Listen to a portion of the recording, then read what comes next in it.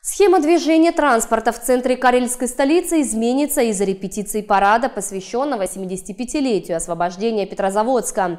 Он пройдет 29 июня. Временные ограничения будут действовать 21, 23, 25 и 27 июня.